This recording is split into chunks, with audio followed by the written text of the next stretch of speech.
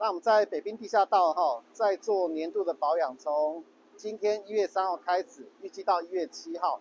那总共保养的项目有我们相关的电机保养、排水系统的一个检测，那再来就是整个一个基础的一个相关的基本维护，那还有我们环境的一个清洁。那我们在只要谢谢我们相关的科室哈，有清洁队，那我们建设课。还有我们的协力厂商一起来做相关的一个机具保养。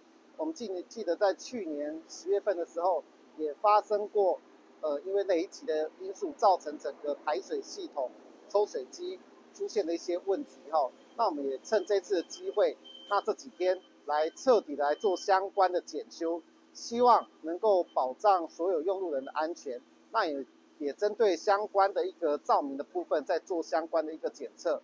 那在此也要谢谢我们所有用路人的配合。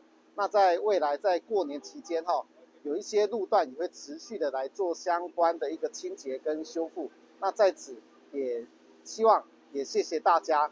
那也预祝我们所有的呃用路人哈，未来新的一年都能够一切平安顺利。那在原本哈，我们预估的到七号的一个日子哈，那。如果说在清洁跟整个检修是没有问题的话，我们会在允许的状况下来做相关的提前的部分、提前开放的部分。但是这也要看我们所有清洁的状况，还有整个检修的状况，他们的一个情况而定。